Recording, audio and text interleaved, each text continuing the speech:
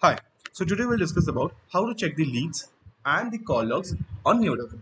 So first we need to understand that the leads and the call logs we need to check it from a particular campaign itself because the leads we usually upload it in a campaign level and whatever the calling and the updation will happen and then accordingly the logs will also get created in that particular campaign only.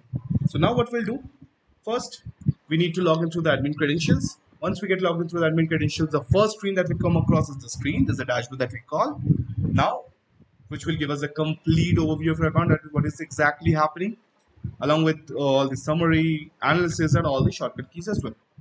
Now, in order to check that particular campaign, we need to get into that particular pipeline because in a particular pipeline only, we'll be having different types of campaign which follows the same lead journey or the same stages and tags.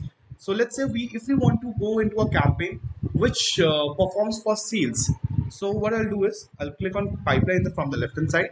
Once we click on pipeline, we can see whatever the other pipelines are present in the system.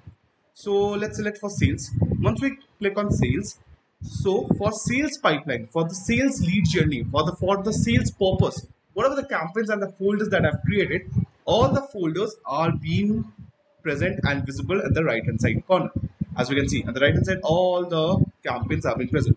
So let's say we just need to check for any of the campaigns leads and call logs. So i'll go for testing. This is a testing campaign. I'll click on testing campaign. Once we click on that testing campaign we get entered into that campaign. We'll give over we'll get an overview of that. We'll get the basic analytics and all the statistics as well.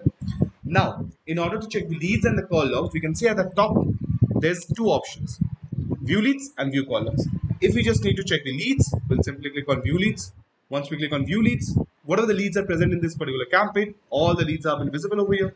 We can get a basic details also, the name, number, creation date, stage, user being assigned, status, everything. If you click on any of the leads, if in that lead any other details are present at the time of uploading, all the details will be visible under that particular lead under the other detail section or the additional detail section. So along with that, if you want to search for any lead, by, the number. At the top right corner, there's a search button. So we can search any lead by the number.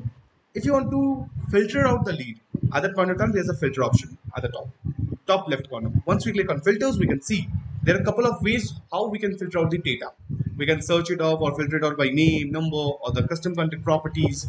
Along with that, by user wise, by status wise, the last call date wise, by stages wise, by tags wise, by creation date wise, by contact source wise, and by follow up wise. So there are a couple of options by which we can filter out the data. Our search and filter option is very much flexible. For preference, we can filter it out. Even we can apply dual and triple filter also to get a niche kind of data. Now, we'll be able to filter it out from here. Then along with that, there's a bulk actions as well. So let's say if we just select any of the lead like this one, then we can click on bulk actions. Now, if you want to modify a lead, so we can do it from here. Like if you want to delete it, we can. If you want to move it to some other campaign or folder, that we can. If you want to close it off, that also we can. Or else if you just simply click on update, and if you want to change the stage, I'll simply click on in progress, hot.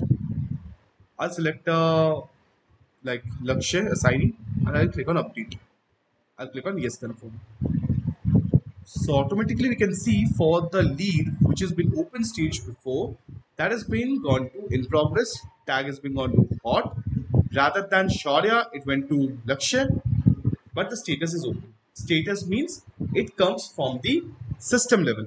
Stages are usually whatever being a human being or being a user or admin we are updating is and status it can it will gets updated automatically by the system itself. So stages can be manipulated from the admin or the user side, but status can't get updated. So whatever we'll do, if we are initiating a call, then after that, the status can't be open at all.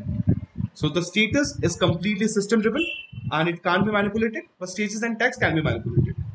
So as we can see, if we just select any of the lead and if you want to modify it, we just need to go to the bulk actions and then we can modify it by clicking on update so this is and then after that there's a download option as well so whatever the like filter will apply and we'll get a niche kind of data and then accordingly whatever the report we want to download it we can simply click on download csv report and the report will get downloaded. Now if you want to simply go to call logs from here at the top right corner there's a call logs option. We'll click on call logs and automatically we'll be able to see there's a call log over here. Okay.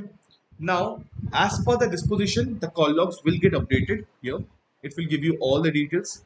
If you just click on any of the call logs uh, there also if it, there are some details be visible.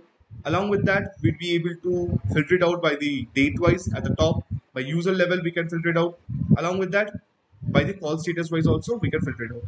And then if you just click on this download button then automatically the call logs will get downloaded or the lead will get downloaded. Even if you want to search any lead by the lead number we can search it from the top right corner as well. So this is all about the call logs so even if there are IVR is present if there is IVR is present and whatever the call recordings we want to check it so once the lead gets disposed if you click on any of the lead we'll get the call recording as well so now once we go to call logs, as per the disposition, the call logs will get created and we'll be able to understand that how my team is working, how my users are working. And along with that, we'll be able to, like if you want to check for only one user, we can just simply apply a filter for the user. If you want to check for the date, we can just simply click on that today, today's date, and we can apply any of the date, whatever on whatever date we want to check the call logs.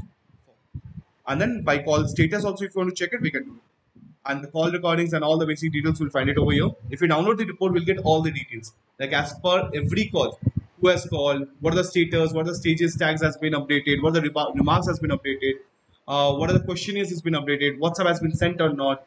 So then along with that, the, what is the total call duration, what is the form filling time, the complete details will find it. The complete history will find it.